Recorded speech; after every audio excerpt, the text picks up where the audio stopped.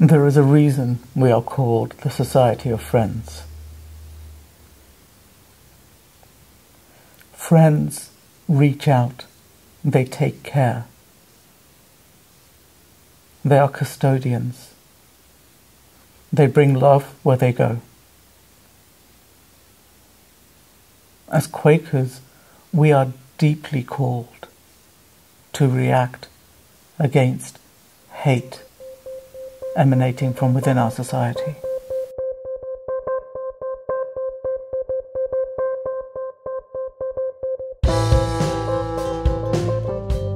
In general, I am fairly conscious of my identity as somebody who's Middle Eastern, whose family is Muslim, and I'm very conscious about how and when I present that identity. So, especially if I'm going through an airport or riding on a plane, I'm pretty aware of you know whether I have a book that has um, Arabic script on it. I remember a flight attendant once asked me, she complimented my necklace and it had like an Allah symbol on it and it had the prophets listed in Farsi or in Arabic writing. And uh, she asked me if that said my name. And I said no, and she asked what it said. And I froze a little bit because I felt so uncomfortable. And I thought, is she going to call like security on me? Am I allowed to answer honestly?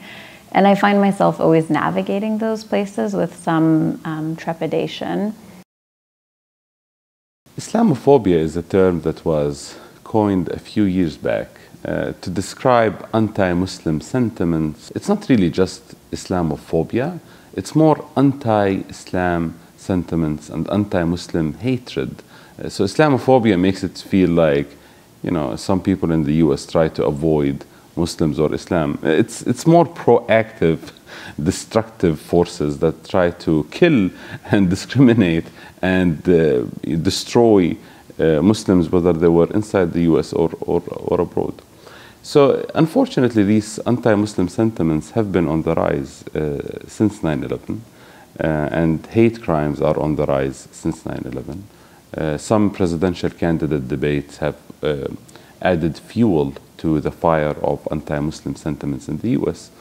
and so, we are living in this moment now where this is happening uh, parallel to events in the Middle East that the US is also involved in.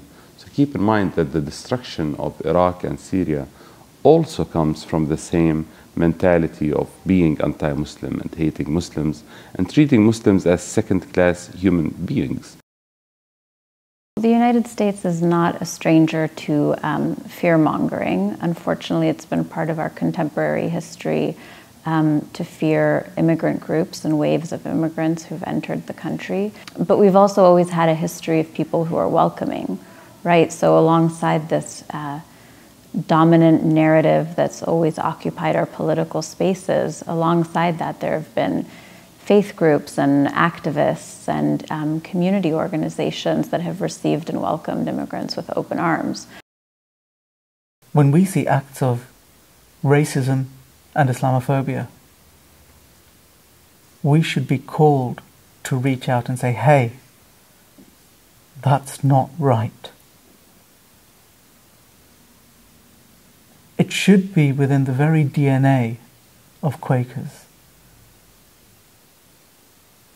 to fundamentally react against the loathsome rhetoric that comes out of the highly institutionalized racism that we still have in the United States and in Europe. Yeah, many people in, in our community, the AFSC community or the Quaker community at large, ascribe to views um, of our um, cities and the world at large where people are treated equally and respectfully for those who ascribe to beliefs of treating everyone equally, uh, we have to act on it.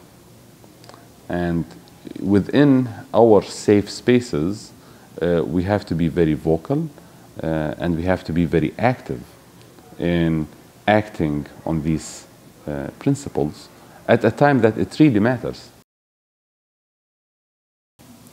I think allies are incredibly important And I think this really stretches across from movements that are trying to counter Islamophobia to broader movements against racism. Um, all of these movements really benefit when there are allies that are engaged.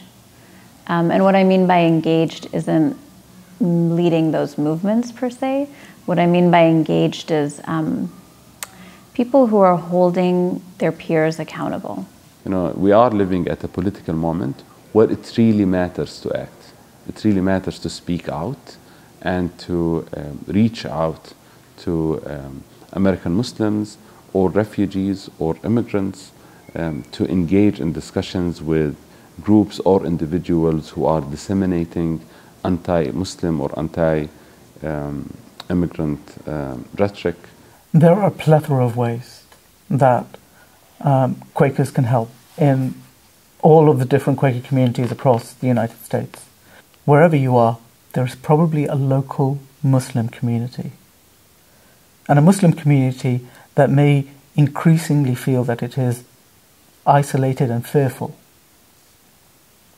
Establishing links with local Muslim communities is something that I believe Quakers in particular are adept at doing and should be encouraged to do. We are not a huge movement, we are not large, but we are powerful in our own ways.